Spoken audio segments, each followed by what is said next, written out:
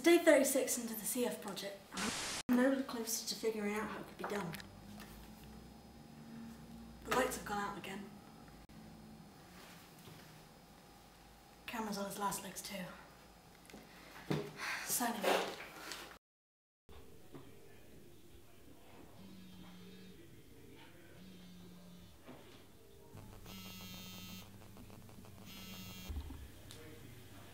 Hello? Time no see, isn't it? Who is this? Oh, don't recognize my voice. Well, it has been quite some time, hasn't it? Wait, do you mean you're. Yes, it's me, Anne, the one and only. Good to know you haven't forgotten about me after all these years, Alex. Well, it has been four years. What happened? You just kind of disappeared one day. I made it big. I live in an opulent city now. Wait, what? So you found it necessary to call me four years later just to tell me that you'd got rich and completely forgot about me until just now? Well, uh, so I heard that you're working on Cold Fusion. Is that true? In that old drab city you call home? You used to live here too, so don't call it drab. But yeah, I am.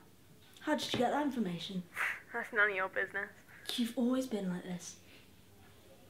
Well, I have a proposal for you. How about I have you move up here with all the access you want to the labs? Not only that, but I will also pay for everything you need to continue your research. But why?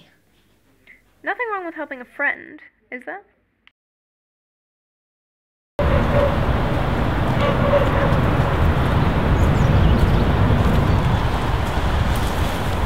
It's finished now, isn't it? Project CF? Yeah, it is. What you plan to do with it now you're done? What I set out to do from the. To help people less fortunate than you, right? So they get to decide where the power goes and what they do with it. Of course. That's what I chose to do. Why are you asking? I'm just not happy with your decision at all. What do you mean you're not happy about it?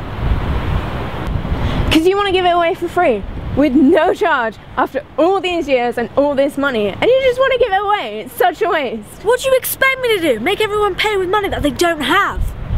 That's all you ever wanted from the start, isn't it? Money is all you ever wanted. Money is what makes the world go round, not selflessness.